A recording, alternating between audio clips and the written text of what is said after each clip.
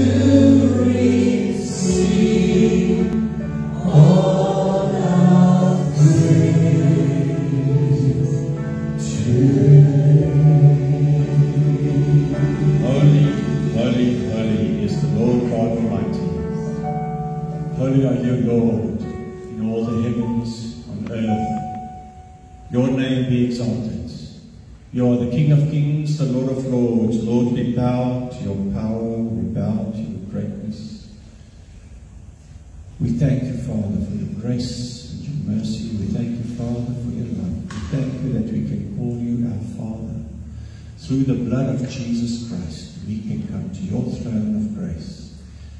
boldness to your seat of mercy. We thank you, Lord, that you brought us together here today to worship your name, to exalt your name for your glory's sake. Father, nothing today that we do here is for our own, it's just for you, Lord. We come together to honor you, to glorify your name. We bring you the great glory you deserve. And Father, today for the service, we pray, Lord, for those who couldn't make it today because of sickness. Father, we ask your healing hand over them. Father, we ask that you bless them and you keep them.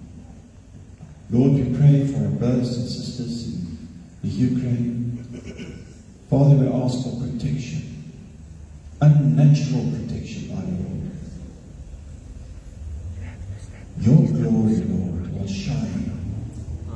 Your will be done, God, on earth as it is in heaven. Father, we bring the service today to you. We ask that you bless everything that happens here. That you take all our praises and worships. We take, we take that, Lord, as a glorious sacrifice to you. We ask that you bless the word, that we praise you and we honor you, that we can come together in freedom and worship you in truth. In Jesus' mighty name, amen. Amen. Can we give the Lord a praise offering? Before you take your seat, I want you just as I welcome you, we welcome our online viewers. Remember, um, COVID regulations, if someone wants to come to their door, they can't come, they must go around the side, they must sign in. So just we just stick to this. COVID regulations. It's like heaven, there's no other way in, there's only one way. It says, I am the way. And so the way in is by the front. So give the Lord a praise offering for that. And uh, just greet someone to you, welcome someone. Just remember, we are following COVID regulations.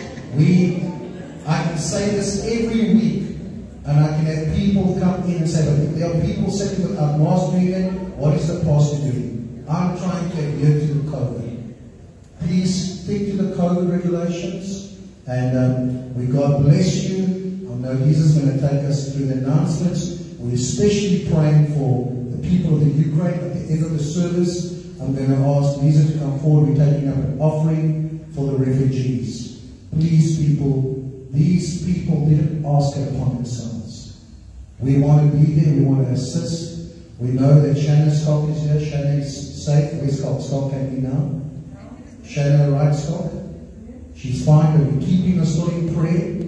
We're keeping Shannon, we're keeping um, Jeff and Tatiana's mom and brother in prayer. There are people that are running for their lives. So let us be mindful. We have the freedom to worship today, but we have to think of the plight of these people where they find themselves. On that note, I'm going to ask Lisa just to take us to the announcements, and then we're going to go back into worship. Good morning, so please have a seat. Um, we just quickly go through some of the announcements for this week and for the month ahead. I don't. There we go. Okay, okay. I don't need a mic always. So this month our theme is going to be as we end off tomorrow with February, we are moving into March. It is unbelievable. And uh, our theme this month is sanctified. Sanctified by the blood of the Lamb. So um, we just want to ask that as we finish off praying, um, our missionary for the month of Feb was Jeff and Tatiana Cohen. Um, more so because Tatiana's mother and brothers in the UK that couldn't get out. We've also got our beautiful Shanna that is a child of this congregation. She's sitting in the Ukraine, uh, uh, Ukraine on the southwest side. And they recently, I would say, I don't want to say safe, but because the Lord is uh, sheltering her, but let's keep them in prayer. And so for salvation for many during this time, as it's day four of the war. Sorry, brother. We're also keeping the parents of Amen. Scotland's on. Because you can only imagine what a father goes to the mother knowing their daughter or their child is on that side. Yeah. Keep them in prayer. Amen. So um, then we just want to ask, um, uh, we're going through the series of seven churches of Revelations. This week it will be Sardis. You can join us via online or Facebook Live, or you can come to the office if you want to be here and um, social services. I'm not going to go through all the weekly activities. You can get it on our calendar of what's happening. But one special request today is um, if you would please support, you're going to see the dance, uh, the Light of Jesus Dance Ministry today doing an item. But please won't you support them after the service? Ice cream or suckers, ice suckers on a beautiful day like this. Donations of 20 rand. So if you can please come, they set up on the front. Then we'd just like to ask a community church in Atlantis has requested Bibles, second-hand Bibles.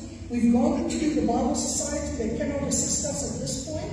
So if you've got second-hand Bibles at home, an extra one that you haven't looked at, please bring it. There are people that need it English and Xhosa. So that is for a Bible project we're doing for Atlantis.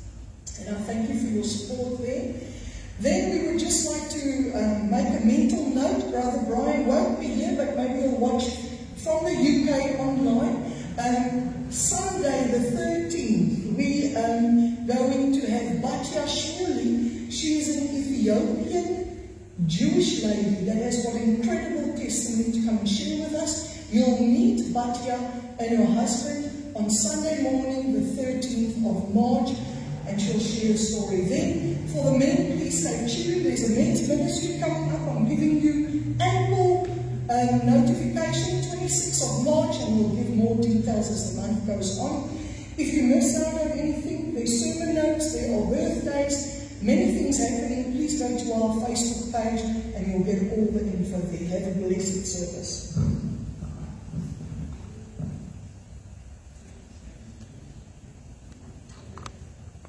All right, we're going to worship the Lord. And while we're praying and while we're worshiping, we want you just to be sensitive. Think about the Ukraine. Think about Shannon. Think about the people we lost. So that we are praying and keeping them in prayer in this time of prayer. So let's stand and let's just experience what God is going to do this morning.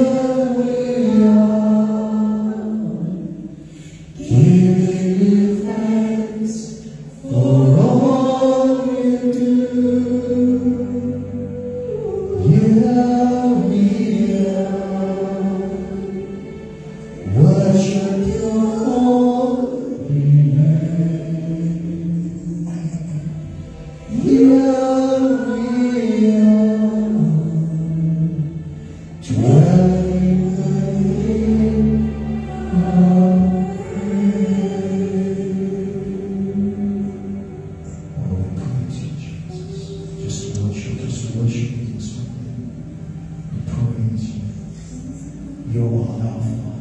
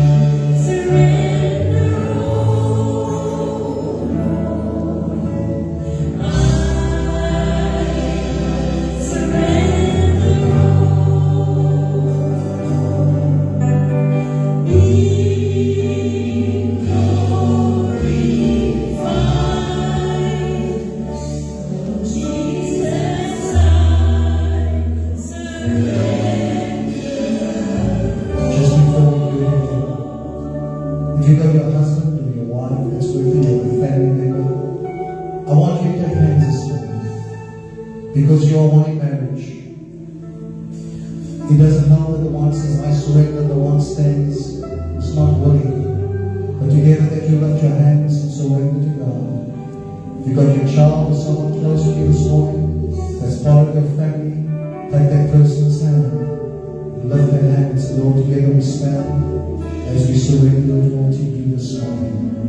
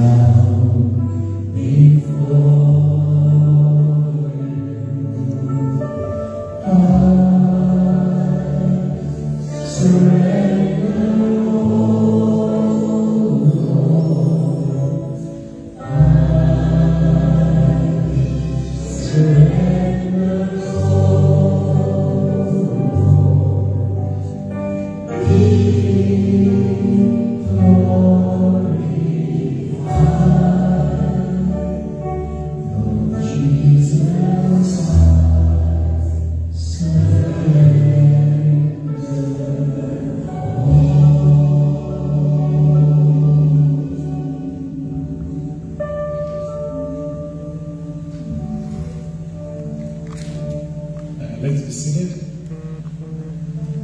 Let's pray. Um, yes, and family, Lord, we are reminded that from Genesis to Revelation, the book is about your love, unending love for us, your desire to live an intimate relationship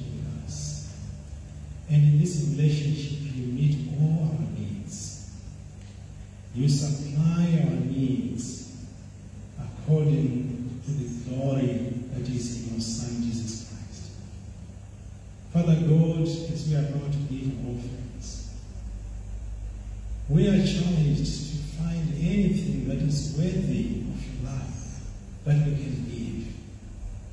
We know you instituted the practice of giving, not because you need anything from us, but because you want us to have an intimate relationship.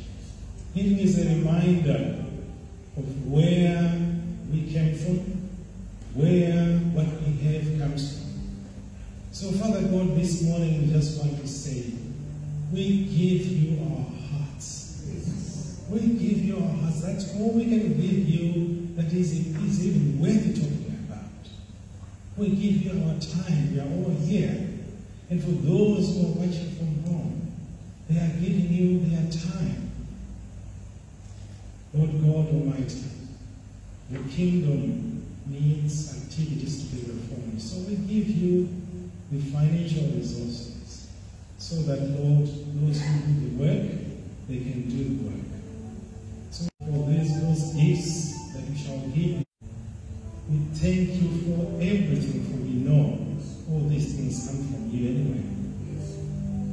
Thank you for the obedience in our hearts to give what we can give. And you said you love those who give cheerfully. Thank you, Father. We pray that every cent that shall be given this morning will go towards the things that matter to you. We pray all this in Jesus' name. Amen. Amen. Just this as we take the offering. As a leadership, we would be short-sighted if we didn't realize that there are many that are experiencing financial problems. We got a call from a big company, and we realized going into the city and COVID has had such an impact on people's finances. But we want to encourage you to keep your eyes on Jesus. Petrol prices is going up, food prices. But He's the same God yesterday, today, and forever. And He says that He will provide according to our every need through His riches and glory by Jesus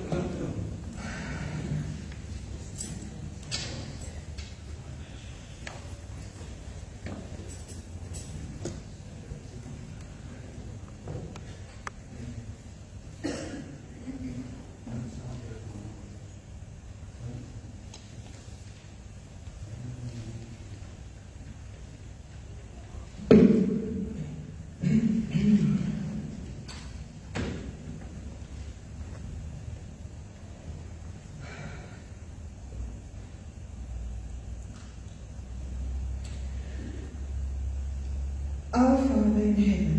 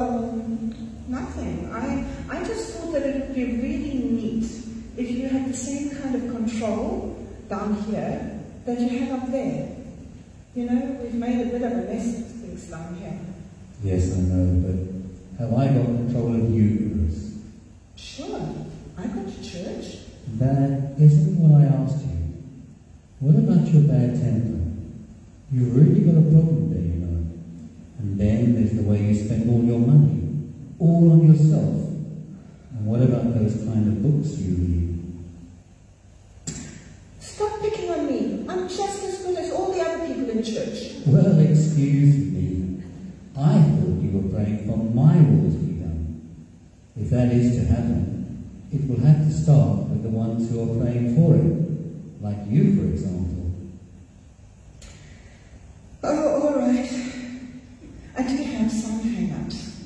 There's some things that I keep on doing that I wish I stop doing. You know, Lord, I really would like to be a good person. Well, I hope you are.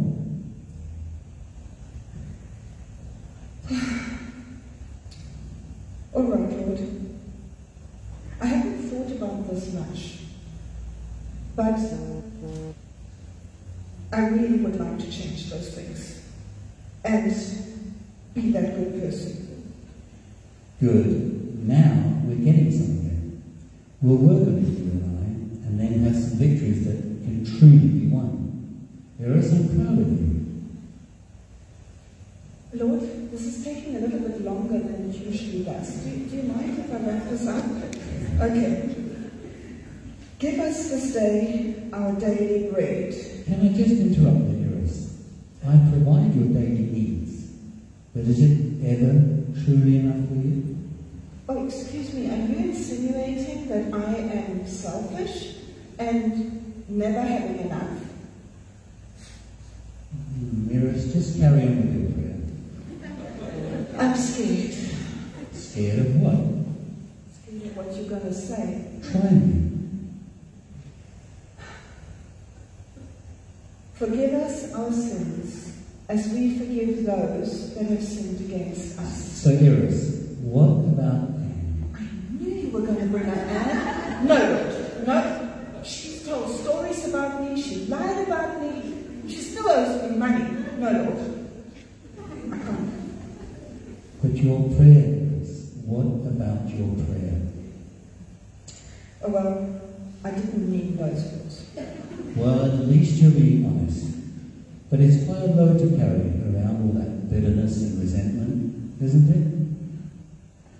All right, yes, but once I get even with her, once I get revenge, she will never mess with me again. No, Iris, you won't feel any better. In fact, you'll feel worse. Revenge isn't as sweet as everybody thinks. You know how unhappy you are? Well, I can change that. You can? How? Forgive Anne. Then I can forgive you. And then all that hate and sin that you're carrying in your heart will now become Anne's problem, not yours. You will have settled the problem as far as you're concerned. No, Lord, she cannot get away with this. I can't forgive Anne.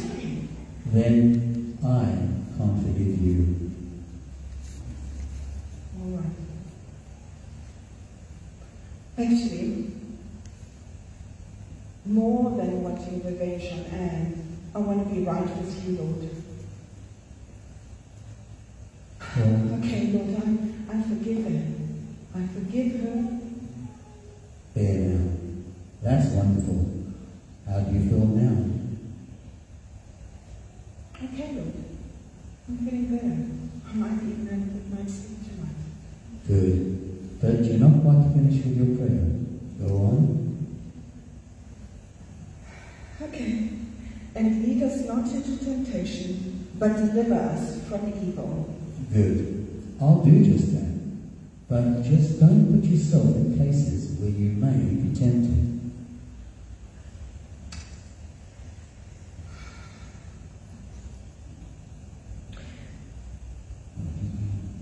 What do you mean by that? Quit watching inappropriate movies, television, and listening to sinful gossip. Change some of your friendships. Don't be foolish. They advertise having fun, but for you it will lead to ruin. Iris, don't use me as an escape hatch. Oh, I don't know what you mean by that. Sure you do. You've done it lots of times. You get caught in a bad situation and then come running to me. Oh Lord, help me out of this mess. I have promise that I'll never do it again. Do you remember some of those bargains you tried to make over the years? Yes, Lord, I really, I really am ashamed. You know, up till now, I just thought I needed to say the Lord's Prayer and then carry on with my life just the way I always do. I really didn't expect this. Okay. Go ahead and finish your prayer. For thine is the kingdom, the power, and the glory, forever and ever. Amen. Do you know would really make me happy? No, Lord, no, but, but I really want to. You know, I'm, I'm starting to understand what it like, is like to be your follower. Understand what it means to really have a relationship with you. You know, Lord, You just answered my question. Yes. The one thing that would bring me glory is to have people like you truly love me. And I can see that is happening between us. Now that some of these old sins are out of the way, and now that you and I are communicating, well, there's no telling what we can do together. Lord, can we carry on meeting like this? Can we carry on conversing like this? Yes, always. And never forget this, Chris.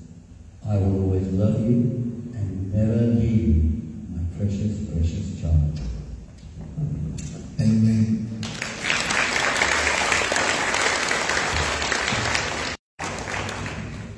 While I'm getting ready, turn to Matthew chapter 6, please.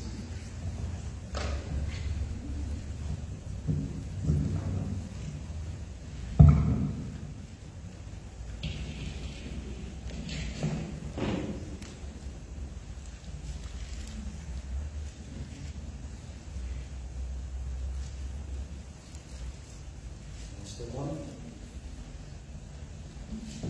Come on.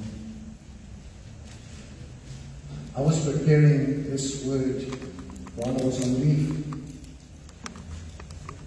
And then Brian came to me, and Brian asked about doing this skit, and I said it fits perfectly in. But Brian said, well, I said, yes, Brian. Then I said, but he needs to do it, he's leaving. This is his last Sunday. We're going to pray for Brian. He's going back to the UK. So I said, well, let's do it on. He said, what about the 27th? I said, well, then I'm preaching that Sunday. He said, well, everything fits into place. We are coming out of the month of February where we've been dealing with the theme of cleansing. And often we don't realize the things that are in our heart. Like Iris said, the unforgiveness towards people. And you can't, answer, you can't understand, but why is God not answering my prayer? Because He cannot answer prayer if your sin stands before Him. I want you to turn with me to Matthew 6, verse 5 to 13 this morning. Try not to do this here. In Luke 6, we see a similar passage in Luke's Gospel. But it says here in Matthew 6, and this is so important because Matthew 5 to 7 is Jesus' Sermon on the Mount. This is where he lays the foundation for his ministry. There are many people that have followed him, and this is where he lays the foundation, and out of this, he gives the model prayer. And he says, And when you pray, you should not be like the hypocrites, for they love to pray standing in the synagogues and on the corners of the street, that they may be seen by men. So they should I say to you, they have a reward. But you, when you pray, go into your room. Now, your room is your secret place, which might be your office, might be your car. Everyone has got that one place, you know, we rush in the morning with children. You have that one place where you can become quiet. Has, has anyone got a place like that? Because your house is never a quiet place in the morning, is it? Sometimes it's more like a battle zone. But you find that place where you become, and that becomes your prayer time with God. It says, Pray to your Father who is in the secret place, and your Father who sees in secret will reward you openly. When you pray, do not use vain repetitions as the heathens do. And remember when Elijah was on Mount Carmel, and the false prophets of Baal were shouting and screaming and cutting themselves and repeating themselves. Did that answer God's prayer? No. The only thing with Elijah, at the right time, he stepped forward and he prayed a very simple prayer and God answered. It says there, therefore do not be like if your father knows the things that you have that you have need of before you ask for them. He said, in this manner, therefore pray. And I want you to pray this with me at the moment. It's on the behind me. Our Father in heaven, hallowed be your name. Your kingdom come, your will be done on earth as it is in heaven. Give us this day our daily bread and forgive us our debts as we forgive our debtors. Do not lead us into temptation, but deliver us from evil. For yours is the kingdom and the power and the glory forever. Amen. Father, thank you this morning that once again you renew our prayer life with you. That prayer never has to be something that becomes a burden, something that we've got to, like a car, cold car starting up. But it's something that must, we must look forward to, something that must be natural as with your relationship. Pray now, Lord, that I become less as you become greater. This word you've given me already, right in the beginning of year, for this church. I pray, Lord, that the words of my mouth and the meditations of my heart will be pleasing and acceptable unto you. In Jesus' name. All of God's children say, Amen. It starts off with a father and a child relationship. Now, a father's love is so important to a child. Child's development. And the lack of adversity affects the child, his behavior and outlook on life.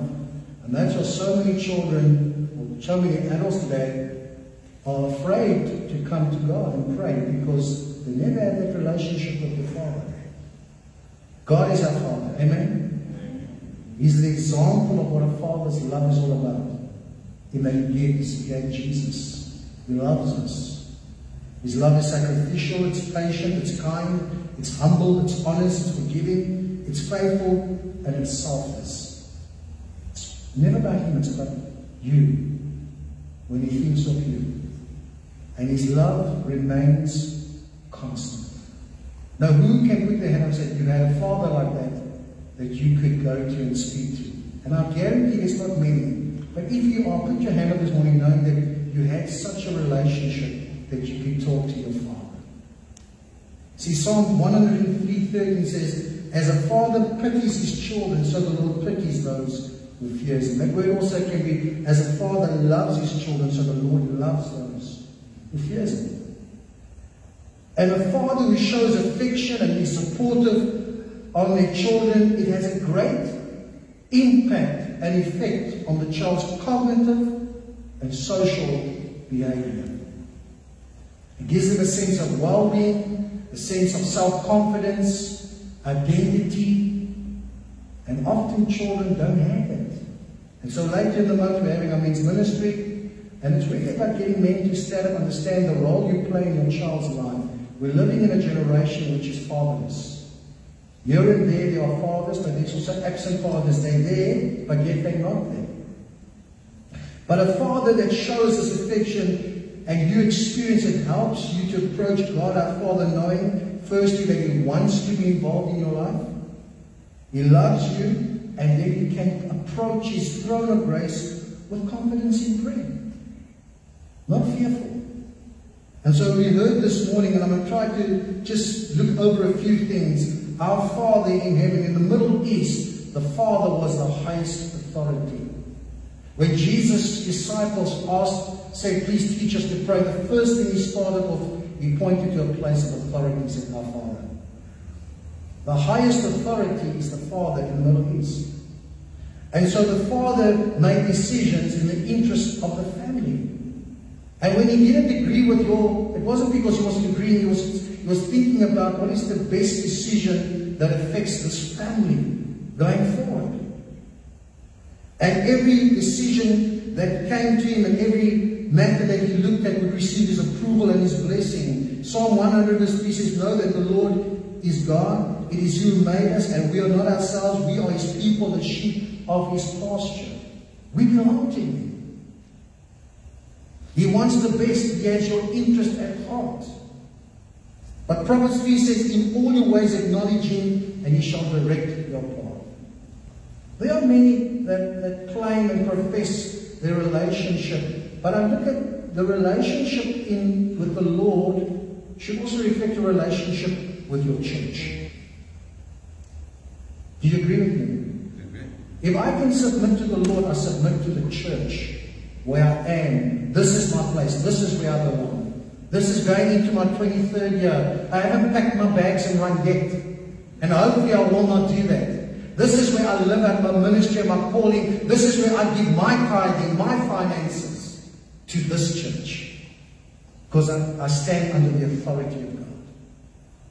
And so I understand our Father, He is the one that I submit to. And in Luke's Gospel, chapter 15, the younger son approached his father and he didn't accept the authority and he was not willing to submit.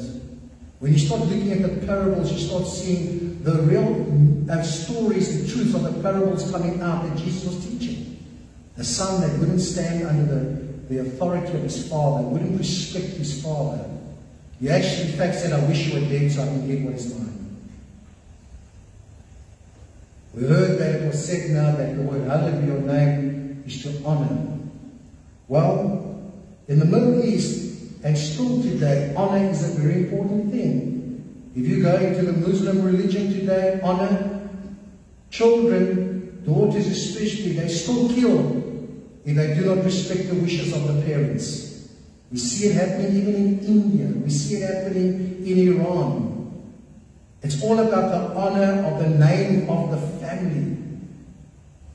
Hallowed be your name. Today, people use the name of God as a curse word. They use it to blaspheme. But when we say it, we confessing that in this name that we use, we have healing. By using God's name, we know this is the almost powerful name that brings life, healing, deliverance. The name in which our prayers are answered. There's no other name. Today we know him by Jesus, Yeshua. It says, if you ask the Father anything in my name, he will give it to you. How many movies have you watched recently that have had the name of Jesus as a swear word or a curse, but you've continued to watch the movie? Even if you become desensitized to that name, pray that the Holy Spirit will make you more sensitive, that when they do it again, it will stab you in the heart, and you'll put that movie off. Can I get an amen on that? You see, to hallow and to honor God's name, the Apostle Paul said in 1 Corinthians 10, 30 says, Therefore, whether you eat or drink, whatever you do, you do to the glory of God. Every decision, everything you do to honor, you're doing it to glorify the name of God. Your kingdom comes speaks of your responsibility to God. Not your responsibility to your own ministry on the sideline. Your kingdom comes Lord, I'm building your kingdom. I'm not building my kingdom outside this church. Brad and Lisa Espin's ministries where we shine. It's not about that. It's about church on the rise. The ministries that take place in this church. So many pastors and people today are building their separate ministries because it's their kingdom. They're building their own little kingdom where they can be exalted. That's not what God's asking. It's always about His kingdom.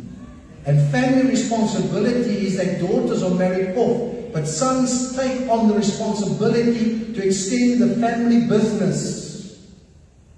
And with that family business, they look after the welfare of their parents. And Jesus says, I'm going to prepare a place. My father's house are many mansions. If we're not so, not at all. Go to prepare a place in such way that he went to prepare a place. So we are bringing people in through the Great Commission into the kingdom because he's expecting to build many rooms. That's why it's 2,000 years later. Can we give the Lord a praise offering? We all think we've got a ministry, but what is the ultimate ministry? Go out and make disciples. That's ultimate. All the others are on the periphery. They're on the boundaries. Yes, they're nice, but it's not the main one. The primary one is to make disciples preach the gospel of Jesus Christ. And that's when you when you say your kingdom come, you say, Lord, I accept your call upon my life to go out and make disciples. Your kingdom, your will be done. And while I'm living on this earth, your will be done speaks about righteous living. Because when you speak of righteousness, righteousness speaks, speaks about being in right standing with God. Righteousness speaks about doing what God wants you to do. Not what I think He wants me to do. Well, I think God's called me to start a nice business in Hawaii. Lord, please don't call me for Hawaii or the Bahamas. Prayed so Lord, don't send me back into Africa. Your will be done. In Haggai 1, 5 to 9, when we consider this for a moment, the people have returned back from exile. Their calling was to build the temple. They had received the the decree from the king to go back and to build the temple. They were not to go back and build their houses because that was part of it. Yes, we need to build our house here. But some people have got better houses they're staying in today than what the house of the Lord looks like.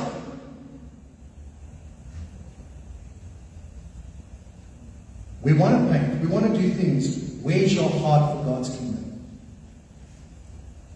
Your will be done, he says, he says, consider your ways, go to the mountains, bring wood build a temple that I may take pleasure and be glorified, says the Lord. You looked for much, but indeed it came to little. When you brought it home, he says, I blew it away. Why, says the Lord? Because my house lies in ruins. Our first primary concern is always the temple of the Lord. And the temple of the Lord is not literally this church. The temple of the Lord is people coming into the kingdom of God, building the temple of God. But we become sidetracked. My wife always says, if she can, she would like a little garage in Langebaan. That's what she wants. And I said to her, that little garage, if you're going to stay in and you want, is going to distract you from God's will. But I love Langebaan. We all love certain places, but God hasn't called me to Langebaan. So she has to accept what I say because I know God's called me. And this is where God's called me.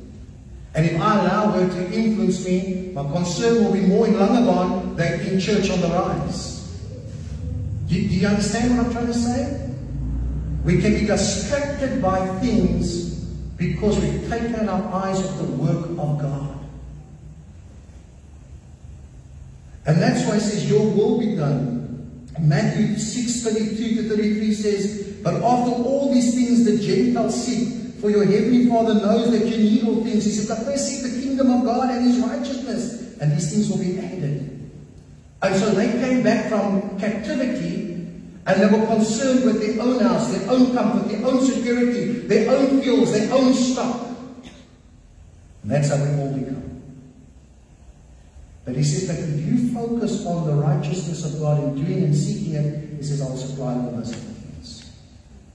It's not that he doesn't want you to. He wants you to keep your eyes on him and not on the things of this world that's passing away because he will give you and give you more if you do so. And if you're doing this operational like Elijah, Elijah was a prophet. Elijah wasn't called to be a psalmist or a musician or a dancer. He was called to be a prophet of God. The operational role is doing what God calls you to do. Oh, but I like because Peter and, and Karina, they on the worship, I want to be worship. Sometimes I wish there, are people that have auditioned in the past for the worship team. I want to say, I wonder if they know what they sound like. They're not musicians. They're not singers. God has given specific people certain gifts. Stay within your gifts and your calling. That's all to do. We are not all good with our hands, craftsmen. We are not all doctors. We're not all dentists. We're not all everyone's got a gift. Use that specific gift to serve God. And if you do it, do it to the glory of His name. His geographical will is doing in the right place. As I said earlier, God hasn't called me to Hawaii. And you hearing, oh, but I've been praying. I, I remember in the early years just saying to myself, I'm talking almost 30 years ago. The people were saying, and God said I must do this, God. And he said, Lord, what's wrong? Because we don't hear your voice. You're telling all these people there's something wrong. Maybe our antennas, the radio, the signal was wrong. And then they would just resign. And we're talking, we were in our 20s. I think I was 24 or 25. And Jessica was just maybe a couple of years older. But um, they had more hair, black hair. And then the next week, the person would come and say, no, the Lord has told me to go back to my job. And I just stretch my head and think, the Lord's not a God of confusion. Geographical will is to be in the right place, doing the right thing, what He calls you to do. And if you're doing that and in the right place, that's the place of provision and protection. Stepping out of that, you open yourself up to danger. You could be killed before your time because you're not in the place He wants you. Or you could die of hunger because there's no provision. Then you blame God because I didn't. The motivation of what God is, why are you doing what you're doing? And if you're doing it with the right heart and, you, and you're doing it for the right reason, He will reward you for that. Give us this day our daily bread. And as you're doing God's will, you ask Him, give us today our daily bread. You're trusting Him. You're trusting Him for His provision. You're not trusting for tomorrow. And we're living in a world, a Western world, on humanist secularism that's taken God out of the equation and taken Sanlam and Old Mutual and all these companies and replaced them with God. And then we start saying, no, but you know, Sanlam says, your life is in my hands. Well, I've got news. My life is in God's hands.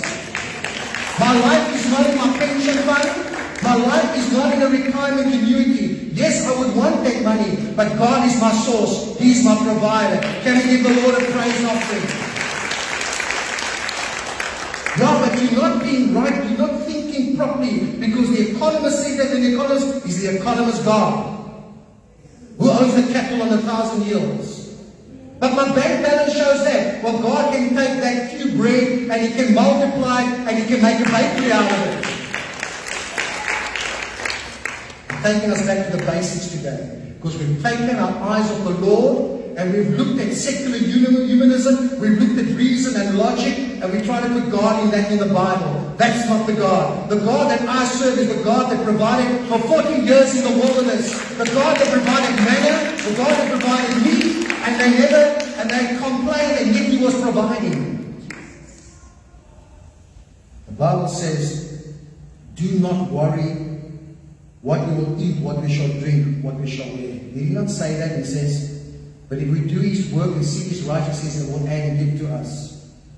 My late mother-in-law told me that when she was staying in Italy, that was before Lisa was born with a, with a brother and sister, she couldn't understand it, just to get, she couldn't handle it. The, the, the, the elderly people, especially her mother-in-law, every day they go down to buy fresh produce. And sometimes they do it more than once a day. And even when we were there in 2017, Lisa's aunt that's 84 years riding on a bicycle into the town to go buy fresh produce. That's the way of life in the rural villages. They don't go to Makro, they don't go stock up for a whole month. They look for fresh produce. God called them to live daily for manna. And only take as much as you need for the day. And that's a principle of His Word. But we are so living with sickness and anxiety and stress and everything's going wrong because we don't know what's going to happen next week. Don't worry about next week. Worry about today. The Bible says sufficient for today. God's already there next week worrying about what's happening. In Exodus we read, and it says, let no one leave any of it till morning. Some of them took more than they could have. Because they didn't trust God. This is about trusting God. And the next morning, it either dissolved or had worms in it. People, Jesus is coming back, He's shaking us. He's shaking His church. Because the money that we have in the banks, the money that we're storing up, that the markets will crash and it will be lost, could have been used to extend the kingdom of God. Can we give the Lord a praise offering for that?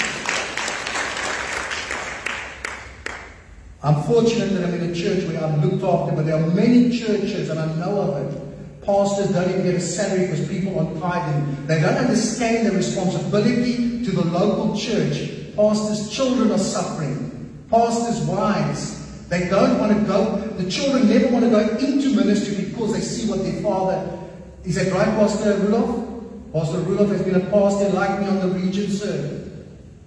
And that's what we try to tell churches where we go. This church looks after my needs, my wife's needs, my children's needs. But there are churches where people don't understand the responsibility to look after the shepherd, the man of God. Well, I'm not going to give it because someone else is doing it. It's responsibility. Forgive us our sins. And we heard about that, what Iris said. If you want your sins forgiven, the reason you want it forgiven because sin stands as a wall in the way you and God. Yeah, but Jesus died for me. I've confessed my sin. But now you've got unforgiveness in your heart. And the Bible says that if you can't forgive someone else, how can God forgive you? So suddenly there's this Afrikaans that uses the right word, escapes me. a wall of division, and it feels as you're praying and you can't get through that ceiling, through that wall, because you're living with unconfessed sin, you're living with stuff in your life, and you can't understand why things are not happening. And if you're upset with me, go to the church where they'll have to fire me after this word. But you want to hear the truth, and I'll preach the truth that God really says for you. Sin separates us from God. And Jesus, speaking, has told us that we must acknowledge, we must confess our sin in order to remain in right relationship. Husband and wife, you know when you know you're in right relationship in the marriage? When you're lying next to each other in bed and your feet are touching each other. And you know when you're sulking and not talking to each other? There's the Gulf of Mexico between you and her. And you know when it's not right you try to reach out with your foot and she pulls away. And there's a common practice throughout the world. I do it in marriage counseling. Everyone, it happens to every single one. Who does it happen to? And the moment you put your foot up and that person responds, ah, then you feel good again. Remain in right relationship with God. Forgive us our sins. If we walk in the light as He is in the light, we have fellowship with one another, and the blood of Jesus Christ cleanses us from all sin. That doesn't mean that we're perfect. That means that we are walking, our feet are touching sin daily. That's what Jesus said, wash our hands. He said, wash our feet. Because we're not saved by the works in hands, but our feet come into contact with sin in a sinful world. And daily we need our sins confessed. Daily we need to say, Lord, forgive me. I said something and I might not have said the right, the wrong thing. I could have just said it in the wrong way. Saying the right thing at the wrong time or the tone of the voice. Hey, Giuseppe, you know all about that. The tone of the voice. It's not what we say, it's how we say Then he says, as we forgive those who sin against us, because we want to be in right relationship with God too, but we also want to be in right relationship with those around us, with our wife, with our family, with our in-laws. Can I get an amen on that? Whatever you want men to do to you, do also to them, for this is the law of the prophets. The golden principle by which we live. Do unto others that you have them do unto you. If you want them to forgive you, you must forgive them. That's the rule. And Ephesians says, and be kind to one another, tender-hearted, forgiving one another, even as God in Christ forgave you. That's why Jesus died, not a mistake. He died on the cross. Because the cross speaks of a relationship with God and a restored relationship with those around you. And you cannot have a relationship like this and forget that there's no relationship going on. You must make every effort to live at peace with one another and to remain in relationship. I'm not going to go there. I'm going to go to do not lead us into temptation. Well, there will always be temptation in this world. You walk down the shop, I said the other day, and I'm saying it again. My eyes are never on cars and motorbikes. It's not important to me. It's got the biggest appreciation value. On food is another thing, but not on that. But there are always going to be temptations in our lives. Clothes, food, cars. And you've got to ask yourself, what does God want? What does God want? And gee, every one it to be different. For some person it might be different because you can write it off against a text. So it will be a different thing. And don't come and justify yourself that you can write off that Ferrari against your text. Everyone has different. Each one must hear about God. What is God saying? It's not that God doesn't want us to dress nice. I did it in the church of, of Thyatira on, on, on, on Wednesday when I ministered. We all want the nice things in life, but there are times for the sake of love that we sacrifice the things we love because of love. of others. We sacrifice the things of love, the things we love, because we love others. And so we have temptations in the world, materialism and goods. We have the flesh, the power to be in a position of power, our passions, sexual immorality, watching those movies. We have a real devil, an enemy, a father of all lies that wants to steal, kill, and to destroy. Those are the real temptations. These things are in the world. But 1 Corinthians 10 13 says, No temptation is overtaking except such as is common to man. But God is faithful. Who will not allow you to be tempted beyond what you are able, but with the temptation also make the way of escape, that you may be able to bear. Yeah, but please look at David. No. Look at Joseph. He ran away. And 2 Timothy 2.22 says, Flee youthful lust, and seek after and call upon those that seek the Lord. There are times we have to make judgment calls, where I've been put into situations and I have to make a judgment call at the moment. Can I be allowed now in this situation where there's a woman? Got to call some company, you have to be here. On Friday night I did it just to protect myself. Shane, come into my office, please. You never put yourself in a vulnerable place where you know because the enemy sets you up to fall. You need to be careful. And so James 1, 12 and 13 says, Blessed is the man who endures temptation, for when he has been approved, he will receive the crown of life, which the Lord has promised to those who love him. No one say again when you tempted, I'm by God, for God cannot be tempted. When we say do not lead us into temptation, we're not saying God is leading us. God allows things to happen in our lives and we're there. But God wants to see what comes out of you. What comes out of you in that situation? How mature, how much have you grown? God does not allow, God allows temptation because He allows us to be tested like Job was tested. But you need to hold on to Him. Allow Him to strengthen you. Deliver us from the evil one.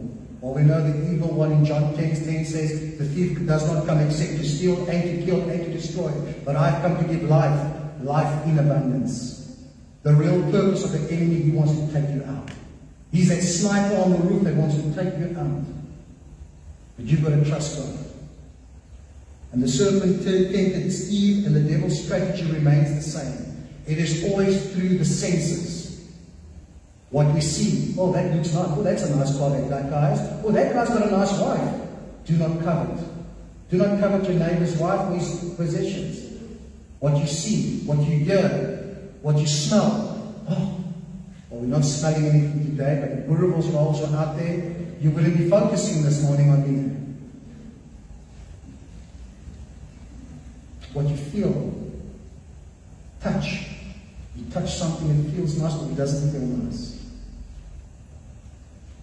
And Hebrews 5 verse 14 says that solid food belongs to those who are full age. How do we know when people are mature?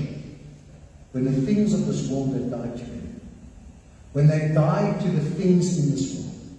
They're not concerned about what things look like. They're not concerned about this nice this and this nice that. They're concerned about Christ. He says, when those are full age, those who by what? Reason of use have their senses exercised to discern both good and evil. When you see something, you'll know that's not good for me. All things are lawful, all things are permissible, but not all things are good. You know that watching this, what you're seeing, it's going to lead you down the wrong path. And you've got to pull yourself out of it. You know that this drink, if I have one and I have noticed delivered me from alcohol, if I have another one, you see, nothing says that you cannot. Because God has set you free. But you know where it's going to lead you. Tastes nice.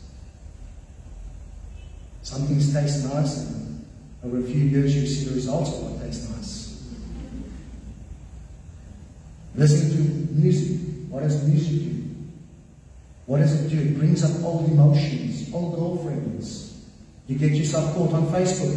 And you start looking up old girlfriends and then you start thinking about them more than you think of your wife. See how dangerous this world is that we find ourselves in? And so we need to overcome. When we say, Lord, do not leave, we will always be in situations which we must endure. Those that endure to the end will be saved. But we also need to overcome. And how do we overcome? The Bible says, therefore, submit yourself to God, resist the devil, and he will flee from you. And as I close off, for yours is the kingdom, the power, and the glory. God answers our prayers not based upon what we've done and who we are. He answers our prayer because of His name. God's name, a name is everything. Today, a name means nothing. But generations ago, your name was everything. And that's why a person's name had to be honored. Your name speaks about your character, your credibility, and it emphasizes, God's name emphasizes His kingdom, His power, and His glory. Psalm 23 says, He leads me to worship Him in the path of righteousness for His name's sake. Psalm 106 8 says, He saved them for His name's sake. Everything that's about who He is. When you say God's different names, His name speaks of healing, deliverance, provision. His name is everything. And you ask in prayer, you come to sit on this chair, and you say, Lord, but I've asked last week, but you've never answered. But you need to ask and have an expectancy because God is never too early.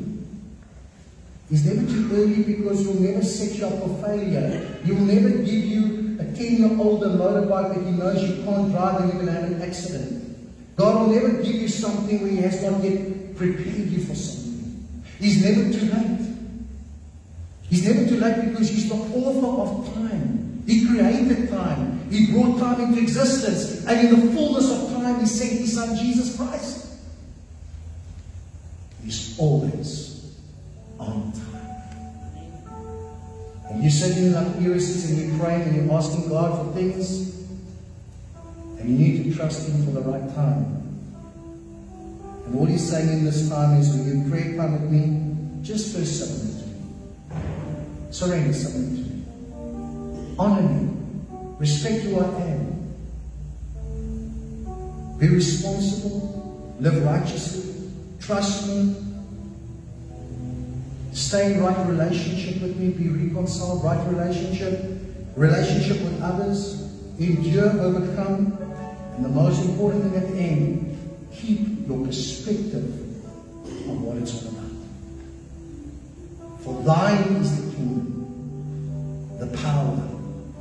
That's the perspective. It's not your kingdom. It's not your ministry. It's not what you are nothing because you have died to Christ. Have you placed your life on the altar? Say, Lord, I have died to self. It's all about Him. Our Father, who art in heaven. When you start looking at it in that perspective, and you close off and you say, For thine is it's your kingdom, Lord.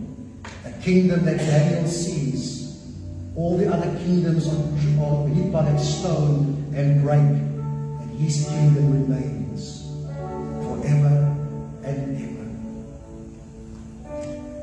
Psalm 138, just two last verses says, I will worship you toward your holy temple and praise your name for your loving kindness and your truth. For you have magnified your word above all your name. As, as important as God's name is, his word is more important. Let all man be found liars, and let God be found truthful. He will never lie. What he has said, what he has promised, he will fulfill. You need to hold on. You need to trust. You need to look forward every morning when you go to sit on the chair and have your prayer time. You need to look forward and, and say, Lord, I'm coming this morning, you know my concerns. thinking of Scott this morning bringing his daughter. As any father is concerned, Lord, I know that I've placed it in your hands. But I am concerned as anyone will be. I just want to make sure that she's still fine, Lord. Place your angels around. Hedge her in on every side. Cover her under your precious blood. The Lord knows when you pray what you pray. He is concerned with your everything. And so your prayer time in the morning is so important. Start rushing up the house with these popcorn prayers. Take time. to sit. Pour your heart out. Take time to listen. That God asked you. Lord, where do you want me to be? What do you want for my life? It took me a few years to come into the place where God was calling me into ministry. In that few years of studying law, I finished my studies. I started studying law. And then out of that was the worst time of my life. I never had peace. God said, I didn't call you. And then I had to stop. I had to go to the girl at the time's parents and say, I'm not studying because you know parents want everything for their daughters. I said, I have to, this is not the gospel. And then I waited another two years before God led me to where He wants me to be. God has a way of preparing us, calling us. Have you allowed God to speak? And there were many things I had to give up in the process. But nothing, no sacrifice you make can compare to the sacrifice of Jesus Are you willing to surrender this morning? Are you willing to come to that place? We're going to do a little altar call right now as they begin to sing, Kareem, I surrender. I want to invite you this morning and say, Lord, not my will, but your will. Not my kingdom, but your kingdom come. In my life, in my family, you will be glorified no matter what happens. Are you ready this morning? Stand with me this morning. I surrender all, Lord.